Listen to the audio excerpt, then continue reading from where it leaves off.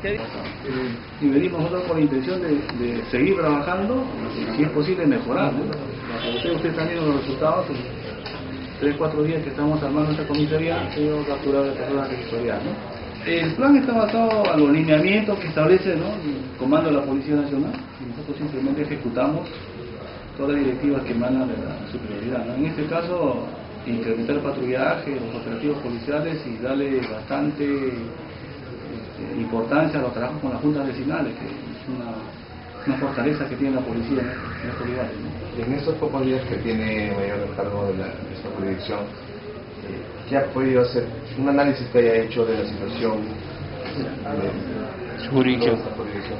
Con el apoyo del, del jefe de región, el coronel, estamos este, efectuando los operativos y patrullajes permanentes. ¿no?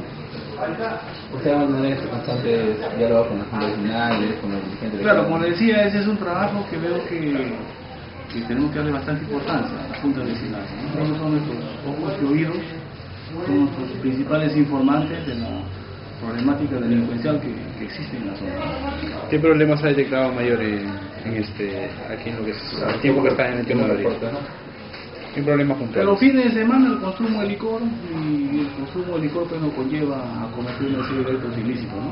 Eso es un problema que, que existe no solamente acá, en otros lugares también.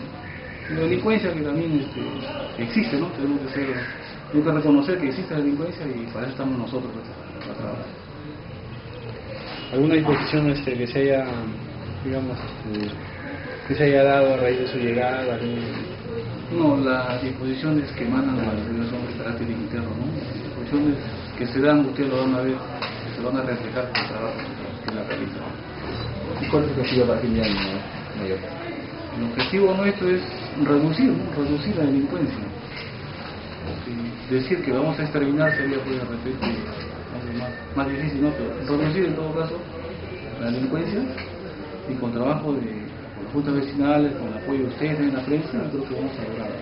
¿El personal que tiene suficiente para su jurisdicción? Eh, nunca, nunca va a ser suficiente, siempre existe déficit de personal, pero tenemos que Adecuarse. tenemos que hacer, ¿no?